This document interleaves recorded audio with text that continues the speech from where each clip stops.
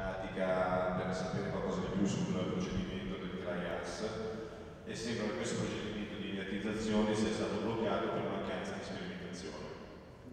Quindi il procedimento sarebbe funzionante, dovrebbe essere un costo anche abbordabile, l'unico problema è che per vedere se ci sono delle dispersioni di fibre durante il trattamento bisogna mettere in piedi un impianto vero. Quindi fin tanto che non si ha questa certezza che non ci sono dispersioni, non danno l'autorizzazione per fare l'impianto di prova il cane che ricorre la coda. Eh, Un'idea che ha proposto Calderoli mentre parlavo al telefono con lui era di approfittare della, della bonifica della Fibronit giù a Roni, provincia di Pavia, perché gli hanno molto amiato a smaltire, la zona circoscritta pensava, Calderoli ha proposto, quindi adesso così, di fare un prototipo di questo, di questo impianto in modo tale che fosse un prototipo ridotto e si potesse procedere alla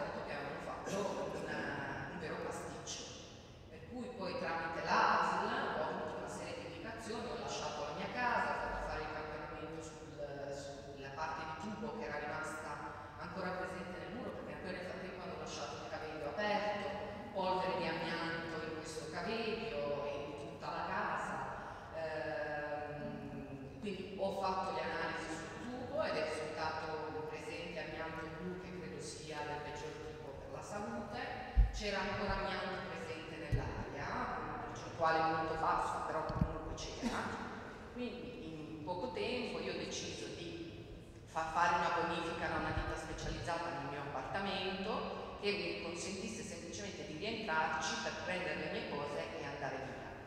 Eh, non, non- non scendo diciamo nell'autobiografia, nel parlarvi dei costi che ho dovuto sostenere, dello stress, eh, ho dovuto comunque fare tutto eh, in questa situazione di emergenza sulla quale non ero neanche informata eh, puntualmente.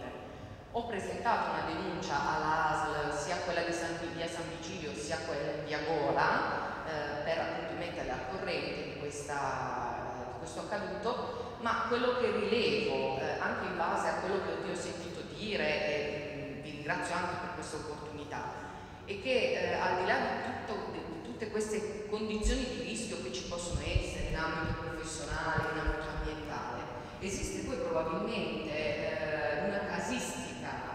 sommersa in ambito domestico eh, che appunto nel mio caso solo casualmente eh, è venuta fuori, ma che probabilmente è diffusissima in Milano come probabilmente anche altrove.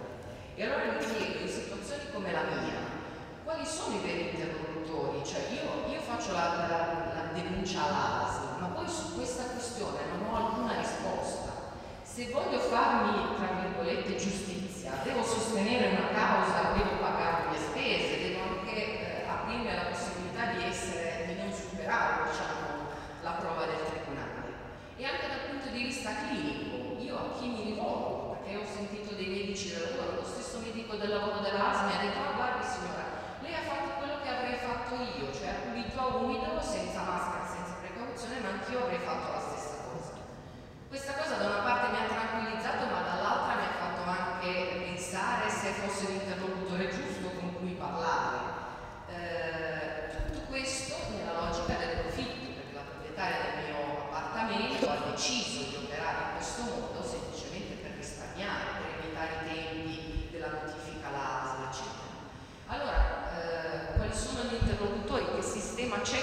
controllo di queste situazioni fuori controllo? Eh, gli operai che hanno operato su questo tubo erano senza maschera, hanno portato via il tubo in un secchiello, me l'hanno fatto vedere, mi hanno detto che non c'erano rischi, perché se ci fossero stati davvero grandi rischi, il costo per lo smaltimento dell'amianto non sarebbe così basso, questo mi hanno detto. E, e quindi niente, volevo sottoporvi questa, insomma, darvi questa testimonianza e, e, e poi anche sottolineare che in Lombardia c'è, credo, una legislazione eh, proprio, eh, credo promulgata dalla Regione in questo ambito. C'è credo anche una legge regionale che eh, obbliga al censimento, cioè i proprietari degli immobili sono obbligati a fare il censimento delle parti in amianto. E allora come mai succedono cose come questa tremenda che è capitata a me? Voglio solo aggiungere una cosa. Esiste in, in Regione Lombardia c'è forse una delle più belle leggi che c'è sull'amianto. E questa legge prevede che entro il 2015 tutto l'amianto che c'è in Regione Lombardia dovrebbe essere smaltito. Naturalmente, fatta la legge, non ci sono i fondi, così come al solito, per cui la legge c'è, ma le cose che succedono.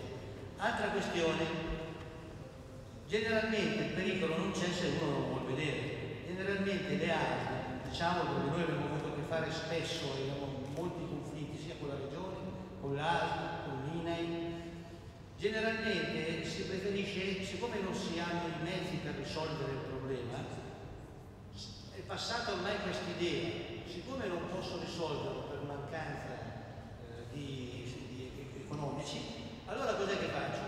L'unica questione è ignorarlo far finta di niente e rassicurare, perché il panico sarebbe peggio. C'è un modo di ragionare, eccetera.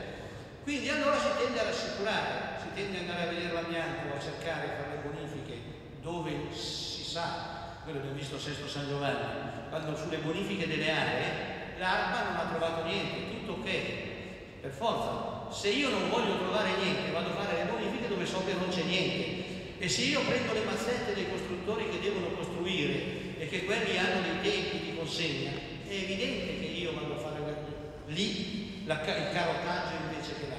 Però tornando un attimo a noi, siccome esiste una legge che per lo smaltimento dell'amianto i lavoratori che ci lavorano devono avere le tutte le mascherine, compreso quelle, ma questo comunque niente vieta perché purtroppo finché uno fa un esposto alla magistratura, un esposto alla magistratura non costa niente, perché io faccio un esposto, finora anche la magistratura era solda, adesso ci sono, dopo i fatti dell'Eterni, anche a Milano c'è il processo Pirelli, ci sono una serie di giovani magistrati che sono arrivati da Torino, dalla scuola di Guarinello, che sono molto sensibili a questo problema.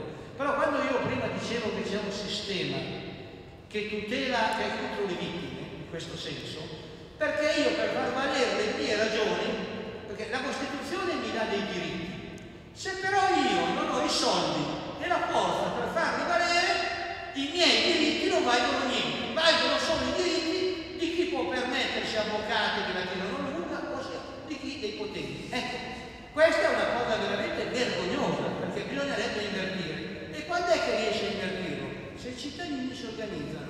Perché se tu ti organizzi allora lo fai valere come comitato, noi per esempio, tornando alla legge regionale, esiste una legge che dice che ci vuole la sorveglianza sanitaria per i lavoratori esposti o ex esposti amianto. Questa legge esiste già dal, dal, dal 97. In Regione Lombardia non è mai stata applicata, finché noi, due o tre anni fa, abbiamo fatto manifestazioni alla Regione, perché la Regione diceva, noi abbiamo fatto la legge, il nostro compito è finito, è l'ASL che deve fare la sorveglianza sanitaria ai lavoratori e che deve fare un registro dove mette il registro degli esposti amianti. L'ASL diceva, bene, bene, fate fatto la, la legge, ma se non mi danno i soldi, io per fare visite ho bisogno, cioè il gatto che si morde la coda, com'è che noi l'abbiamo risolto? Ma lo dico perché l'abbiamo risolto andando a occupare una volta l'ASL, una volta dopo la regione, chiedendo noi stiamo qua, dovete arrestarci perché noi chiediamo l'applicazione di una legge. Esiste una legge, noi ci sediamo qua, non ce ne andiamo più via e noi non solo facciamo adesso tutti i lavoratori delle fabbriche di Sesto, come parte del nostro comitato, facciamo la sorveglianza sanitaria, ma siamo riusciti a imporlo anche le mogli, perché, e anche le compagne, le sposate che però stanno insieme da più di dieci anni a, a chi lavorava nella mia perché la legge lo prevede anche per i familiari. Quindi il legislatore certe cose sa benissimo il pericolo, perché se no non facevano una legge in Regione Lombardia. Però questa legge c'è in quasi tutte le regioni, ma non c'è ancora la legge nazionale, siamo all'assurdo.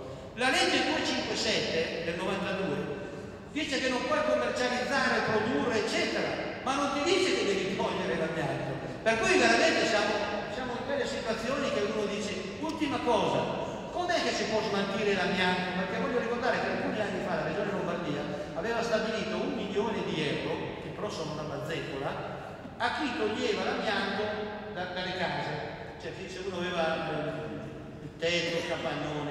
Naturalmente i soldi erano pochi, i primi che si sono iscritti, diciamo, l'hanno fatto, gli altri niente. Però c'era l'amianto dappertutto. Noi, per esempio, noi abbiamo una sede a Sesto San Giovanni del nostro comitato, che quando il comune ce l'ha data c'era una grandissima tettoia di Ethernet. C'è stata una grandinata, noi l'abbiamo avuto a gennaio, a febbraio c'è stata la grandinata nel 98, la grande grandinata del 98. Naturalmente c'era l'amianto, era tutta sparso, tutto rotto dappertutto. Noi abbiamo chiamato l'ASMA, che l'ASMA diciamo che è compito nostro, è compito della regione, abbiamo chiamato la regione e dice noi, e cosa c'entriamo noi? Il comune, abbiamo chiamato il comune e dice noi, il problema dell'ASMA. Naturalmente l'amianto continua a rimanere lì, tutto sfaldato. Abbiamo fatto una riunione con i cittadini finché una sera abbiamo preso, c'era il consiglio comunale in 30 di noi, abbiamo raccolto tutto l'amianto che era perso per, per strada, nel cortile, l'abbiamo raccolto in grandi scatoloni, tre grandi scatoloni con su scritto A pericolo amianto, tre di noi con la tuta e la mascherina e tutti gli altri dietro, irruzione in consiglio comunale, il sindaco allora era Filippo Penati, oggi inquisito, eh, nel 98, e naturalmente abbiamo dato un grosso scatolone al sindaco e alla giunta, uno all'opposizione e uno alla maggioranza, e ce ne siamo andati. Immediatamente hanno sospeso il consiglio comunale e guarda caso l'amianto da noi che era lì libero, poteva stare perché è stato lì due mesi perché nessuno. L'abbiamo portato a fatto sparire l'amianto, non sappiamo dove l'ha messo. Cioè due pesi, due misure, la salute dei cittadini vale meno della tua ma tu sei un rappresentante pubblico e dovresti tutelare la salute dei cittadini come la tua, come giustamente diceva prima Ugarte, che lui tutela la, la, salute degli altri come se fosse la sua, perché così deve essere, tanto tu sei un amministratore pubblico.